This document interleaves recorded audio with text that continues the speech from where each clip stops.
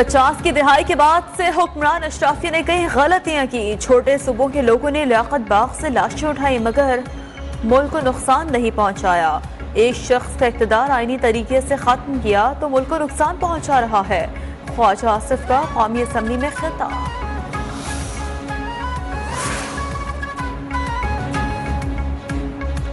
दहशतगर्द दहशतगर्द है, वो वही रहेगा जिसके लिए उसने असलहा उठाया। समझ नहीं आता किस तरह इनसे समझौता किया जाता है। विफाकी वज़ीर मौसमियाती तब्दीली, शेरी रहमान का कौमी असम्बली में इजहार ख्याल। कहा, इस वक्त भी कहा था, जो हथियार डालता है, उससे मुजाकर होंगे। इमरान खान, आसिफ जरदारी के खिलाफ बयानबाजी में एहतियात करें, मुमकिन है आसफ जरदारी से मुआफ़ी की दरख्वास्त करना पड़ जाए। वज़ीर सेहत अब्दुल कादिर पटेल की तनबी कहा इमरान खान के सियासी मुस्तबिल का फैसला आसिफ सरदारी करेंगे। पीजीआर रहनुमा फैसल वाफडा का एक और झूठ सामने आ गया। ताहयात नाहली केस की समात के दौरान जस्टिस मंसूर अली शाह के रिमार्क्स। जस्टिस आशिम मलिक ने कहा 2018 में रिटर्निंग अफसर को दिखाया गया पासपोर्ट 2015 में ही एक्सपायर हो चुका था। ये अमरीकी शहरियत पर करने का सबूत कैसे हो सकता है? चीफ जस्टिस अमृता बंदियाल ने कहा यह मामला तो बहुत संजीदा हो गया है। समात आइंदा हफ़्ते तक के लिए मुलतवी। वज़ीर अजम की जेर सदारत सी पैक मनसूबों पर पेशरफ का जायजा इजलास। शाहिद खाका नबासी मरियम औरंगज़ेब, एहसन इकबाल और दीगर शरीक। इजलास में सी पैक मनसूबों पर काम की रफ्तार बढ़ाने पर गुफ्तु दस हज़ार मेगावाट के शमसी तोानाई के मनसूबे पर तबादला ख्याल।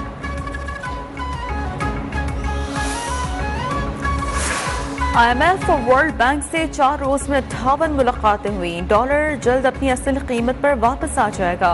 वज़ीर खजाना साग डार की लंदन में मीडिया से गुफ्तु कहा, नवाज़ शरीफ से की जाने वाली हर बात मंजर आम पर लाने की नहीं होती। खवानीन को रोन कर एक मफरूर साखदार को दरामद करके वज़ीर खजाना लगा दिया गया। दावा था डॉलर की ऐसी की तैसी, लेकिन डॉलर ऊपर जा रहा है। मीशत तबाही का शिकार है। शेख रशीद ने ट्वीट किया, सागदार को आईएमएफ और दुनिया से कुछ ना मिला। ना डॉलर है, ना ही तनख्वाहें देने के पैसे।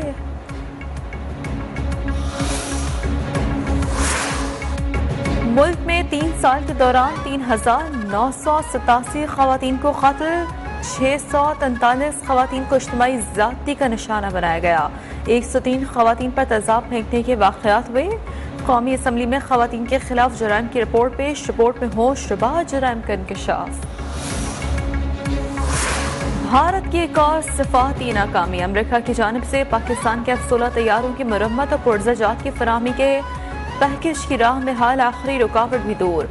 अमरीकी कांग्रेस ने भी पुरसजात की फराहमी की तोसी कर दी।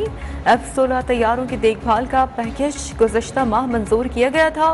अमरीकी कांग्रेस से तोसीक लाजमी थी।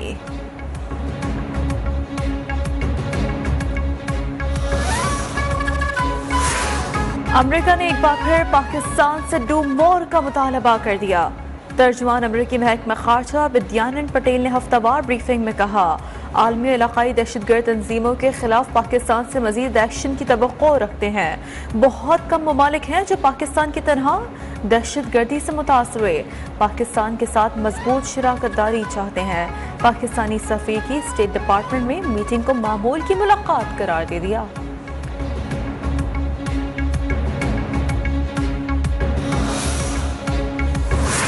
अवाम पर महँगाई का अज्जा बदस्तूर बरकरार, शहरी बेकरार। लाहौर में आटा, घी, सब्जियों, फलों की कीमतें आसमान को छूने लगी। शहरी हुकूमत से मायूस, कराची, मुल्तान, पेशावर, कोयटा समेत दीगर शहरों में भी महँगाई में कमी की दुहाई।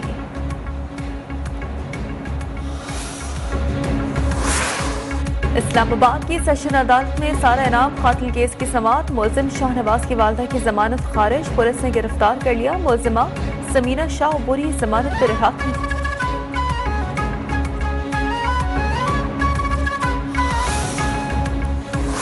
फराह खान ने विफाकी वजी दाखिला राना सनाउल्लाह को पाँच अरब रुपए हट जाने का लीगल नोटिस भेज दिया।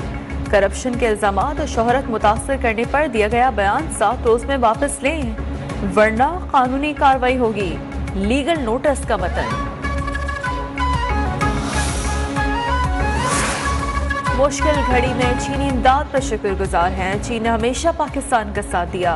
वज़ीर अजम की चीनी डिजास्टर मैनेजमेंट के माहरीन के खसूसी वक्त से मुलाकात में गुफ्तु कहा, सिंध और बलूचिस्तान में कुछ इलाके अभी जेर आब हैं, जहाँ बीमारियों का चैलेंज दरपेश है।